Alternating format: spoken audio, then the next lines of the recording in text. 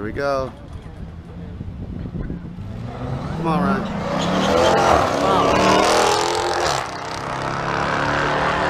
We raced him half an hour. Yeah.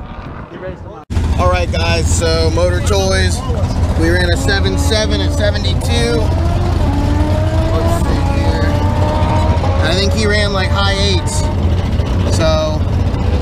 Check that out. 7.7 at 72 on 4S. So one more so.